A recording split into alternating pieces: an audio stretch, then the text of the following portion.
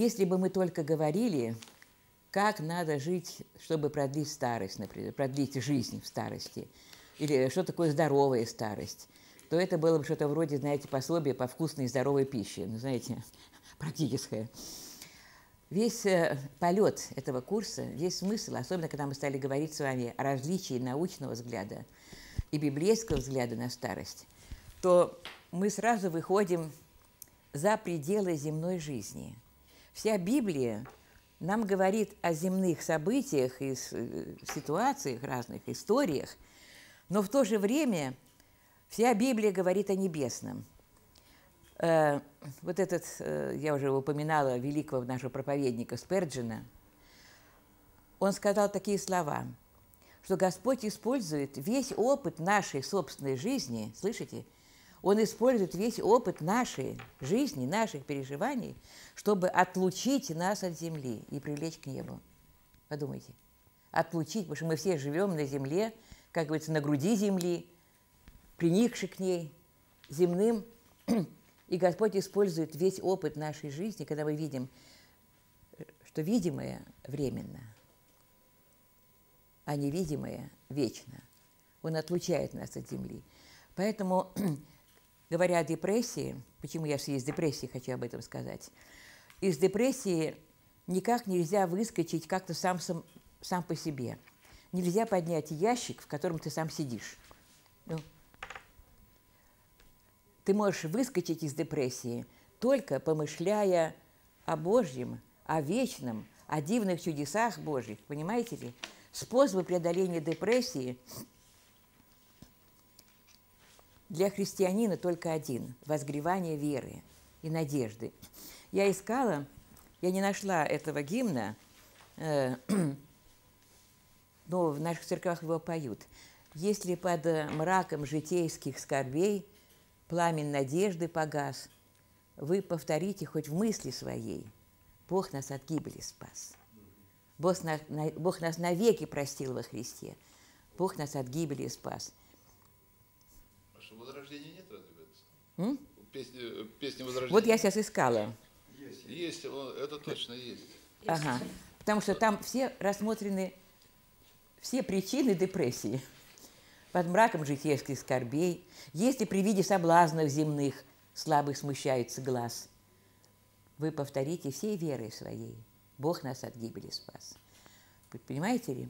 То есть э, это то, что должно нас за уши вытащить из любого рва, уныния. И вот э, э, в основании этой нашей надежды и веры я хочу прочитать послание Ефесянам из третьей главы. Ефесянам, да? Да, Ефесянам. Э, Домостроительство Божьей тайны открывается через Церковь Христову. Называется так эта глава идет домостроительство. Бог, Бог строит царствие свое. Потому что было время, когда царствие Божие состояло из одного человека, Иисуса Христа. А сейчас мы, церковь Его. И вот подумайте-ка, такие слова в Ветхом Завете еще сказаны были. «Не вечно духу моему быть пренебрегаемому».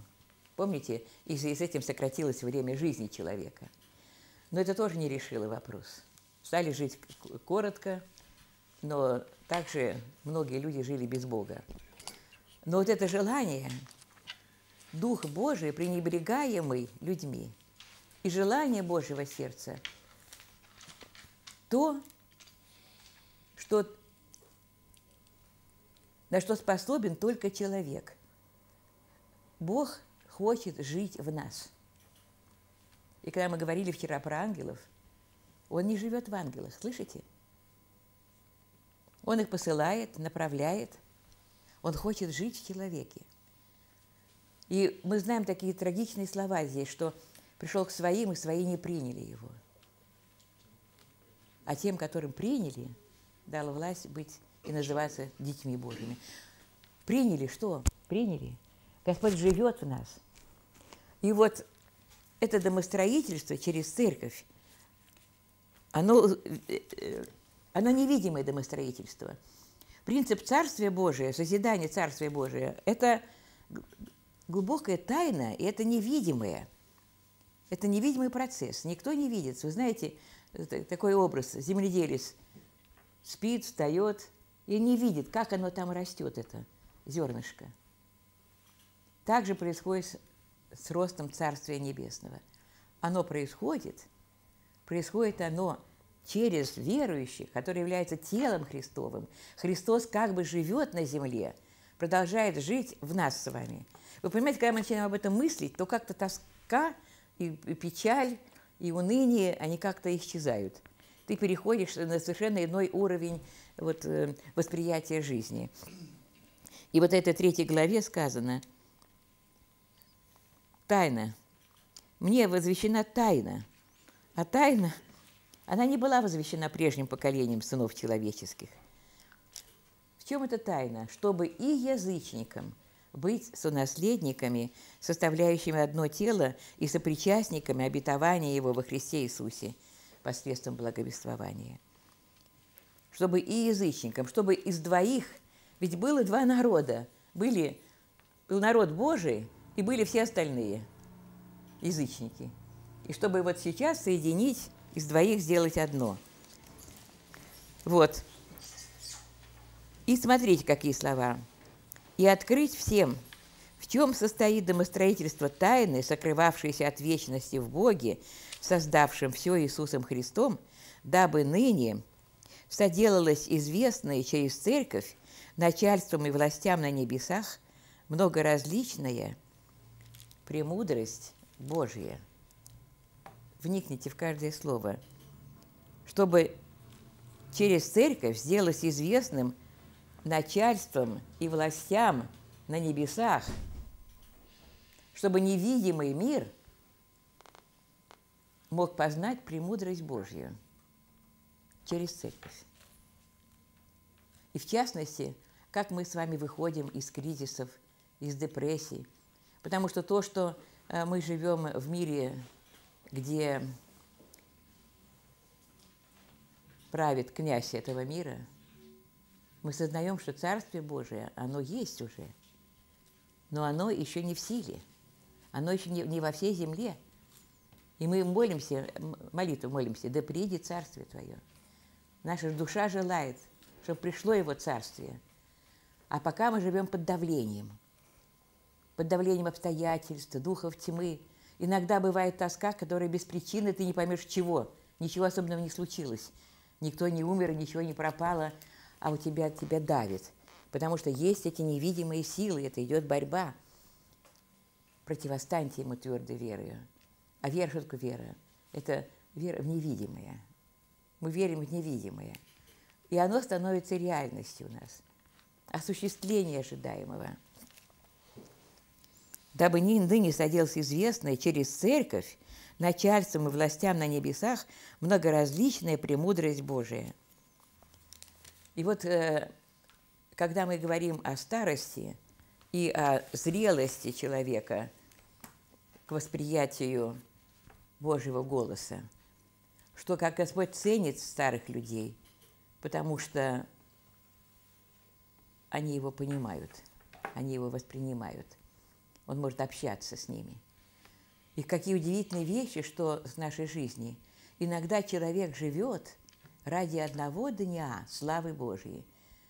Мы же ничего не знаем о жизни Симеона, который вошел и и, и, и, э, и в Библию вошел, и в собрание наше вошел, и, во, и в истории библейские вошел. Симеон, который взял на руки младенца, благословил – и сказал дивные пророчества и о нем, и о его матери, и о жителях на земле, лежит сей нападений, на восстание многих, и в предмет пререканий.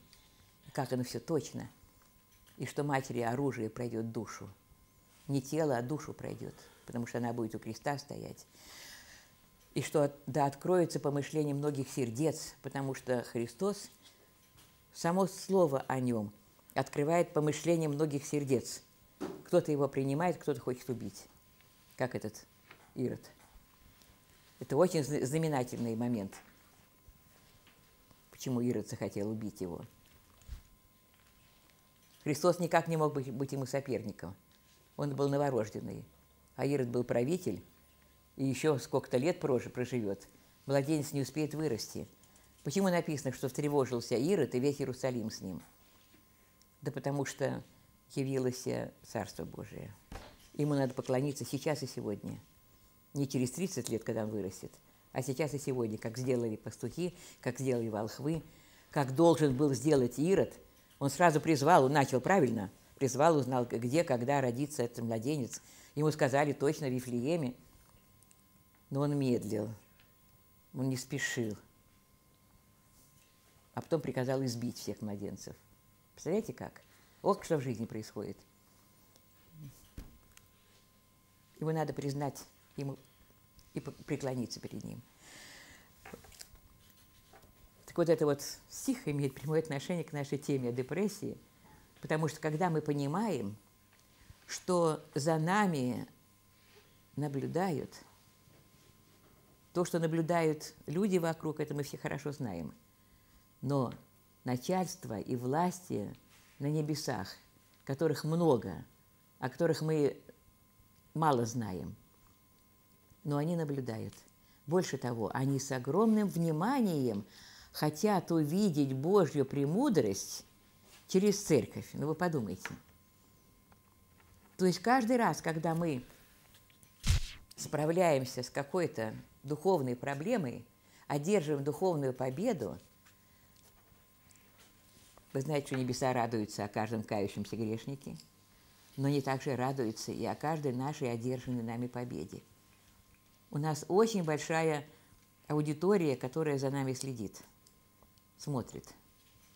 И через нас хотят понять премудрость Божию. Фантастически.